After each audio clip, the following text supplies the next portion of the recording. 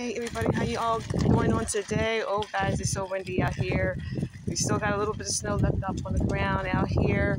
Um, we had more yesterday, but it's rained a little bit and it turned a little sunny yesterday and a lot of it melted away. But I'm out here trying to sell the remainder of these gifts out here. It's a little after 12. I'm just going to stay out here for a couple of hours, guys and see what happens because a lot again a lot of people are at work at school but we do get um, traffic that comes up and down the street so just hoping somebody if they need a last minute gift they can come on out and um, get what they need. All right so these are the gifts right here that I'm looking to sell the remainder of my gifts. The wind is blowing and they keep knocking my gifts around a little bit here. So guys this is my video for right now.